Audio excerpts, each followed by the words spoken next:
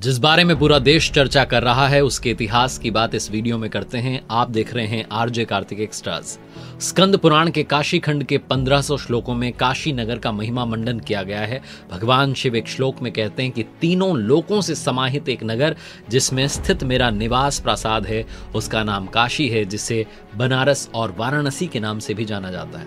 काशी खंड के चौंतीसवें अध्याय में ज्ञान वापी के महात्म्य की बात की गई है। ज्ञान वापी को काशी का मूल केंद्र बताया गया पुराणों के अनुसार ज्ञानवापी की उत्पत्ति तब हुई, जब धरती पर माँ गंगा नहीं थी और इंसान पानी की बूंद बूंद के लिए तरसता था, तब भगवान शिव ने स्वयं अपने अभिषेक के लिए त्रिशूल चला करके जल निकाला और यहीं पर भगवान शिव जी ने माता पार्वती को ज्ञान दिया, इसीलिए इसका नाम ज्ञानवापी पड़ा और जहाँ से जल निकला, उसे ज्ञानवापी कुंड कहा गया। ज्ञानवापी दो शब्दों के मेल से बना है, ज्ञान और वापी, जिसका अर्थ है ज्ञान का तालाब।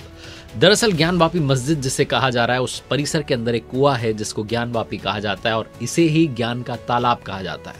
जो कथित मस्जिद है और जो नया काशी विश्वनाथ का मंदिर, जो कॉरिडोर बनाया गया है, उसके बीच में 10 फीट का गहरा कुआँ है, जिसे ज्ञान वापी कहा जाता है।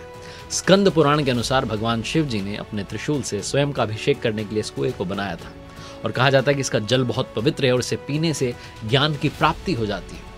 ज्ञान वापी के जल को काशी विश्वनाथ जी को चढ़ाया जाता था। काशी की छह वापियों का उल्लेख पुराणों में भी मिलता है। पहली वापी है ज्येष्ठा वापी, जिसके बारे में कहा जाता है कि काशीपुरा में थी, अब लुप्त हो गई है। दूसरी वापी है ज्ञान वापी, जो काशी विश्वनाथ मंदिर के पास ही है। तीसरी वापी है करकोटक वापी, जो नाग कुआ के नाम से प्रसिद्ध है। चौथी वापी है भद्र वापी, जो भद्रकूप मोहल्ले में है। पांचवी वापी है शंखचूड़ा वापी, जो कि लुप्त हो गई। और छठी वापी है सिद्ध वापी, जो कि बाबू बाज़ार में थी और अब लुप्त हो गई। अठारह पुराणों में से एक लिंग पुराण में कहा गया, देवस्य दक्षिणी भागे वापी तिष्ठति शोभना, तस्यात बोध कम पीतवा पुनर्जन्म न विद्यते। इसका अर्थ है कि प्राचीन विश्वेश्वर मंदिर के दक्षिण भाग में जो वापी है, उसका पानी पीने से, जन्म मरण से मुक्ति मिल जाती है। स्कंद पुराण में ही ये कहा गया है, उपास्य संध्याम ज्ञानो दे, यत पापम काल लोपजम क्षणेन तद पाकृत्य ज्ञानवान जायते नरा। अर्थात इसके जल से संध्या वंदन करने का भी बहुत बड़ा फल है। इससे भी ज्ञान उत्पन्न होता है और पाप से मुक्ति मिल जाती है। स्कंद पुराण में ही कहा गया है कि योष्ट मूर्तिर महादेव पुराणे परिपठ्यते तस्े शाम्बू मई मूर्तिर ज्ञानदा ज्ञान वापिका अर्थात ज्ञान वापिका जल भगवान शिव जी का ही स्वरूप है। शंख चूड़ा वापी वर्तमान में लुप्त हो गई है। इन सभी वापियों में सबसे प्रतिष्ठित वापी ज्ञान वापी है।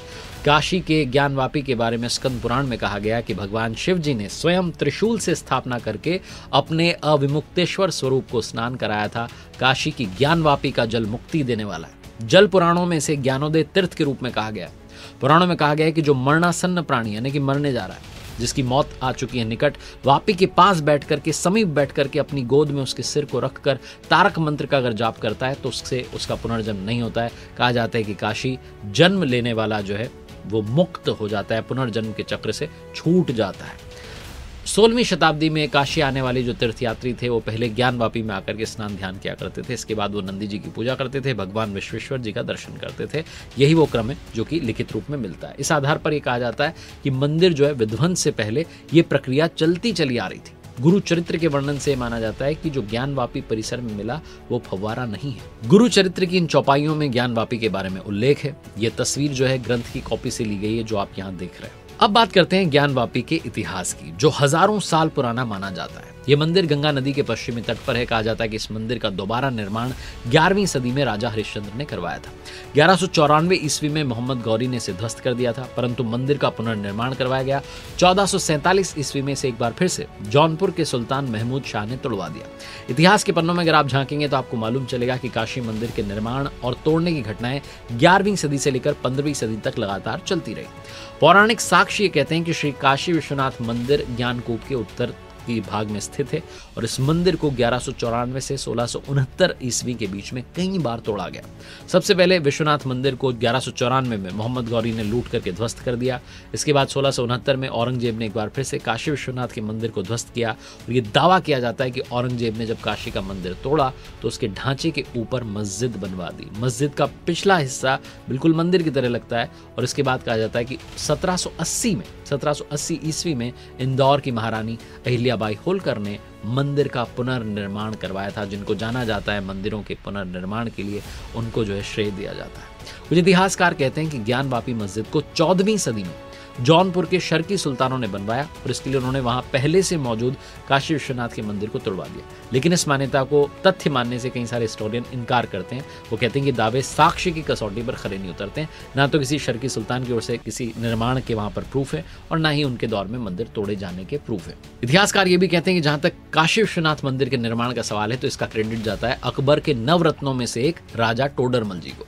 जिन्होंने पंद्रह ईस्वी में अकबर के आदेश पर दक्षिण भारत के विद्वान नारायण भट्ट जी की मदद से इस मंदिर का निर्माण करवाया था। दूसरी ओर इस बात को ऐतिहासिक तौर पर यह कहा जाता है कि ज्ञानवापी मस्जिद का निर्माण मंदिर के टूटने के बाद में हुआ और मंदिर को तोड़ने का जो ऑर्डर था, वो औरंगज़ेब ने दिया था।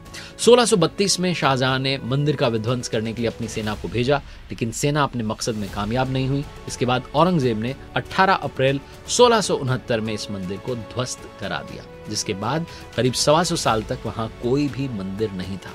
वर्तमान में जो बाबा विश्वनाथ का मंदिर है, उसका निर्माण महारानी अहिल्याबाई होलकर ने 1780 में करवाया था, जैसा मैंने बताया। बाद में महाराजा रणजीत सिंह ने अठारह सौ तिरपन में एक हज़ार किलो सोना वहाँ डोनेट किया। इस मंदिर में दर्शन करने के लिए आदि शंकराचार्य जी संत एकनाथ जी, रामकृष्ण परमहंस जी, स्वामी विवेकानंद जी, महर्षि दयानंद जी, गोस्वामी तुलसीदास जी भी आए थे। अभी यहाँ पर जो काशी विश्वनाथ का मंदिर है, उसके पास में ही ज्ञानवापी मस्जिद है, लेकिन आने जाने के रास्ते अलग अलग डायरेक्शन में काशी विश्वनाथ मंदिर भगवान शिव के बारह ज्योतिर्लिंग में से एक है। भगवान शिव जी का यह मंदिर विश्वेश्वर नाम से भी जाना जाता है। विश्वेश्वर का अर्थ होता है ब्रह्मांड का शासक, पूरे विश्व का ईश्वर। और अब बात कर लेता हूँ तहखानों की, जिनके बारे में लगातार खबरों में बात हो रही है। ज्ञानवापी परिसर के अंदर दस तहखाने हैं। व्यास जी का तहखाना इन्हीं में से एक है।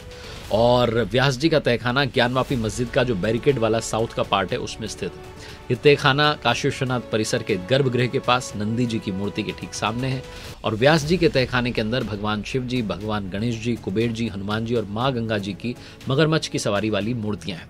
व्यास परिवार का जो इतिहास है वो पंडित केदारनाथ व्यास जी से शुरू होता है, जो कि दुर्लभ पांडुलिपियों और कई सारे ग्रंथों के रचयिता रहे उनके परिवार का दावा है कि उनके वंशज पंद्रह ईस्वी से ही ज्ञानवापी में पूजा करते रहे और वहाँ के लोकल लोग ये कहते हैं कि मस्जिद को लेकर के सबसे पहली कंट्रोवर्सी 1809 में हुई।